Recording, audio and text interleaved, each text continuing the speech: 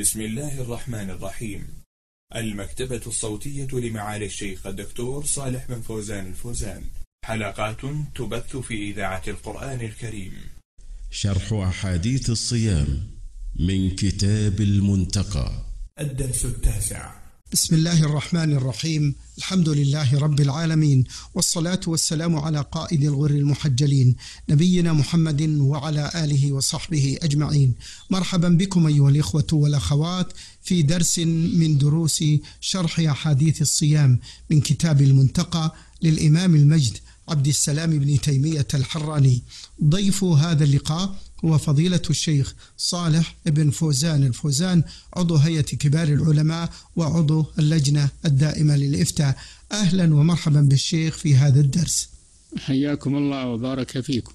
قال المؤلف رحمه الله تعالى باب من أكل أو شرب ناسيا.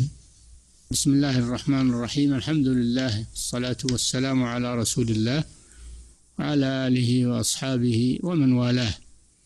لا شك أن الأكل والشرب متعمدا يبطل صيام الصائم. وأما إذا أكل أو شرب ناسيا فهذا الحديث يدل على أنه لا حرج عليه في ذلك وأن صيامه باق وصحيح والحمد لله. وهذا كما في قوله تعالى ربنا لا تؤاخذنا إن نسينا أو أخطأنا. في قوله صلى الله عليه وسلم عفي لأمة الخطأ والنسيان وما استكرهوا عليه. وهذا من فضل الله سبحانه وتعالى. نعم. عن أبي هريرة رضي الله عنه قال قال رسول الله صلى الله عليه وسلم من نسي وهو صائم فأكل أو شرب فليتم صومه فإنما أطعمه الله وسقاه. هذا هو الأصل الذي يدل على ما جاء في الترجمة لأن من أكل أو شرب ناسيا وهو صائم فإن صومه لا يتأثر بذلك وهو معفو عنه والحمد لله. من أكل أو شرب ناسيا فليتم صومه. ثم قال صلى الله عليه وسلم معللا ذلك بقوله فإنما أطعمه الله وسقاه. بمعنى أن الله سبحانه قدر له ذلك وهو معذور بالنسيان وهذا تحت القاعدة أن الناس لا يؤاخذ فيما فعل. وهذا في أمور الدين. أما الناس لحقوق الناس و فلا يسقطها النسيان. كذلك الناس للفرائض لا تسقط بالنسيان. من نسي صلاة أو نام عنها فليصلها إذا ذكرها فالنسيان لا يسقط الواجب وإنما يسقط الإثم. نعم.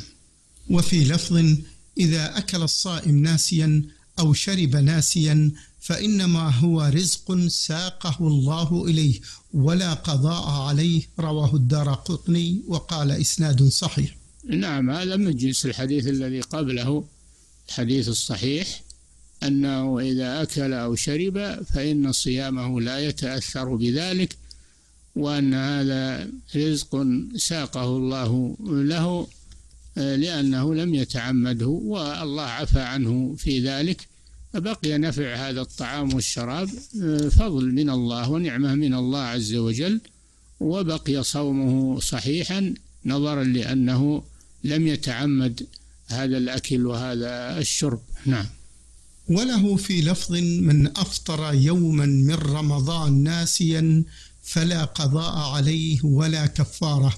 قال الدار قطني تفرد به ابن مرزوق وهو ثقة عن الأنصاري وهذا كالأحاديث التي قبله أن من أكل أو شرب ناسيا وهو صائم فإن صيامه باق وعليه أن يتم صومه وهذا الأكل والشرب إنما هو شيء ساقه الله له ولم يؤاخذه عليه وهذا من فضل الله سبحانه وتعالى. نعم. قال المؤلف رحمه الله تعالى باب التحفظ من الغيبة واللغو وما يقال إذا شتم.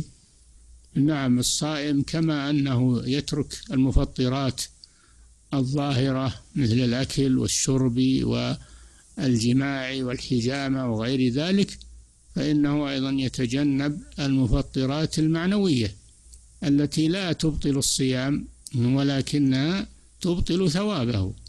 فلا يكون له ثواب وأجر على صيامه وإنما يكون حظه منه الجوع والعطش كما في الحديث. فالصائم يصوم عن يصوم سمعه عن سماع المحرمات ويصوم بصره عن النظر إلى ما حرم الله ويصوم لسانه عن الكلام المحرم. فإن هذه الأمور تبطل ثوابه ولا يؤمر بالقضاء ولكن ليس له ثواب في ذلك. نعم. عن أبي هريرة رضي الله عنه أن النبي صلى الله عليه وسلم قال إذا كان يوم صوم أحدكم فلا يرفث يومئذ ولا يصخب فإن شاتمه أحد أو قاتله فليقل إني امرؤ صائم والذي نفس محمد بيده لخلوف فم الصائم أطيب عند الله من ريح المسك وللصائم فرحتان يفرحهما إذا أفطر فرح بفطره وإذا لقي ربه فرح بصومه. نعم هذا الحديث فيه أن الصائم يتجنب الرفث والرفث هو الجماع ودواعيه ويتجنب أيضا السباب والشتم والكلام المحرم صيانة لصيامه لأن هذا يذهب أجره يكون صيامه جوعا وعطشا ولا أجر له فيه فيحفظ الصائم لسانه. وحتى لو سابه أحد فإنه آه، لا يرد عليه.